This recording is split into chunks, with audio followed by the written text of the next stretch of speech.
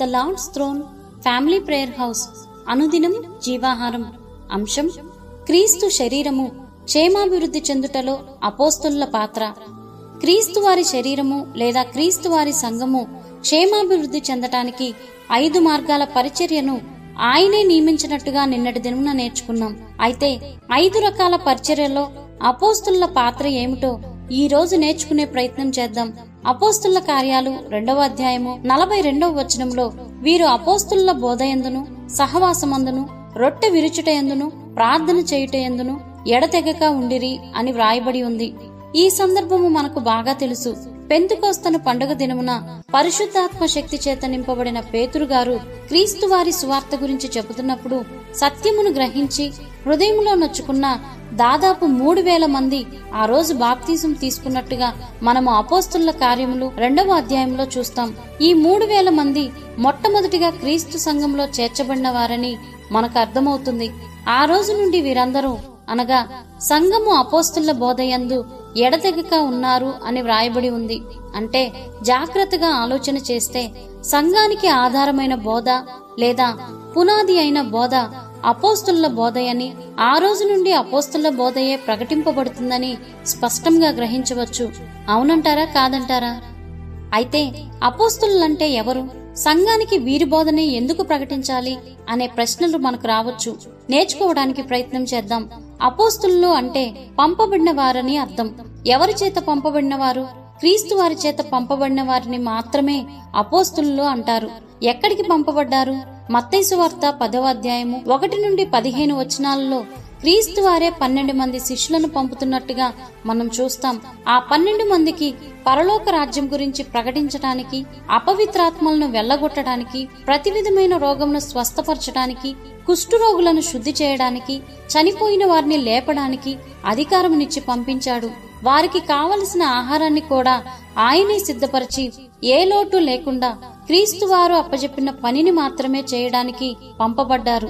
అంటే పరలోక రాజ్యం యొక్క పని సంపూర్తి చేయడానికి అధికారంతో సన్నద్ధపరిచి క్రీస్తు వారిచే పంపబడిన వారిని మాత్రమే అపోస్తులు అంటారని చెప్పవచ్చు.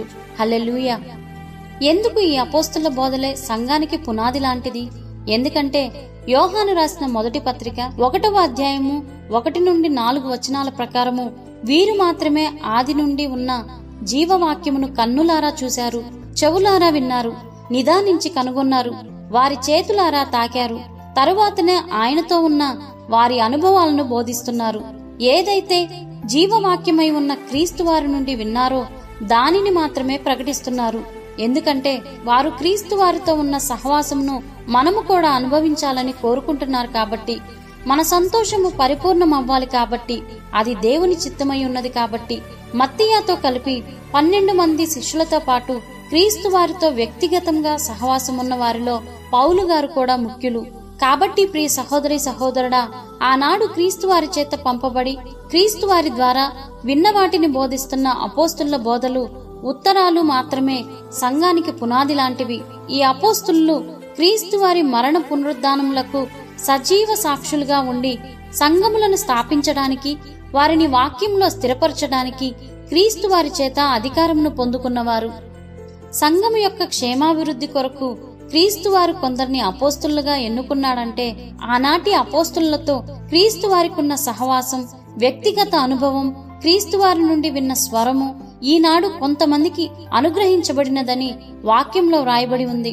ఆనాడు ఏ విధంగా అయితే క్రీస్తు వారి చేత పంపబడిన అపోస్తులు ఉన్నారో ఈనాడు కూడా కొంతమందిని ఆయన ఎన్నుకున్నాడని అర్థం. అయితే ఎవరు నిజమైన అపోస్తుల్లో ఎలా తెలుసుకోవడం? ఆనాటి అపోస్తుల ద్వారా ఏ కార్యాలైతే దేవుడు చేయించాడో ఈనాడు కూడా వాక్యానుసారమైన కార్యాలు ఎవరి ద్వారా జరుగుతున్నాయో వారిని మాత్రమే అపోస్తులుగా చెప్పవచ్చు. అంటే వీరి ద్వారా వాక్యానుసారమైన బోధ ఉండాలి.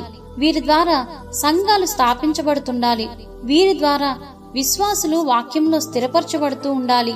స్థాపించబడిన సంఘాలు వారి సొంత ఆస్తులుగా భావించకుండా ఉండాలి. కాబట్టి ప్రియ సహోదరి సహోదరుడా సంఘ క్షేమాభివృద్ధికి మాత్రమే మనకివ్వబడిన అపోస్తులత్వమును వాడుకుందాం. విశ్వాసులను వాక్యంలో స్థిరపరచుదాం. దేవునికి మహిమకరంగా జీవిద్దాం. అట్టి కృప దేవుడు నీకు నాకు మనకు అనుగ్రహించునుగాక.